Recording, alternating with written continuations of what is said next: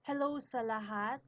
Ang title ng video ito ay Panalangin. Okay?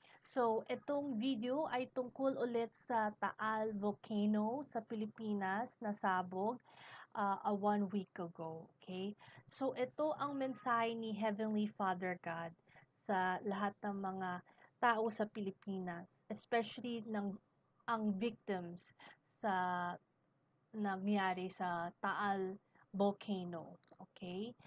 Heavenly Father God, sabi daw niya, madaming Filipino ang nagdadasal sa akin at sa anak ko na si Jesus Christ para tumigil na ang pag-alboroto ng Taal Volcano at mga lindol sa ibang lugar ng Pilipinas. Ngunit, kailangan natin malaman na ito ay kinakailangan matupad. Tandaan na lahat ng pangyayari ay para sa kabutihan kahit na sa tingin natin ito ay masama. Ang mga tao ay dapat magdasal na kahit anong sakuna, ang importante ay makilala natin at sundin si Jesus Christ pagsisihan ang mga kasalanan at magkaroon ng magandang personal na kayugnayan kay Jesus Christ. So yun po ang mensahe ni Father God sa atin.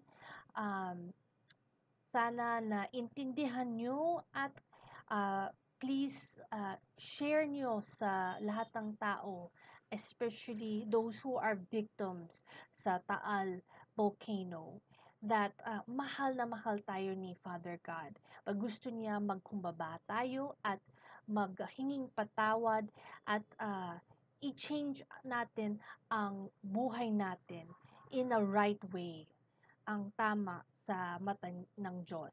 At i- meron tayong direct relationship kay Jesus Christ kasi sobrang importante po yun. Okay? Kasi at the end of our buhay, yung importante is kilalan tayo ni Jesus Christ. Kasi ang daming tayo, kilala natin si Jesus Christ. Pero, kilala ba niya tayo? So, um, this is the end of the message.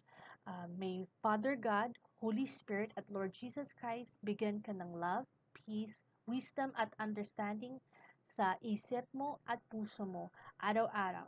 Sa ngalan ni Jesus Christ, Amen.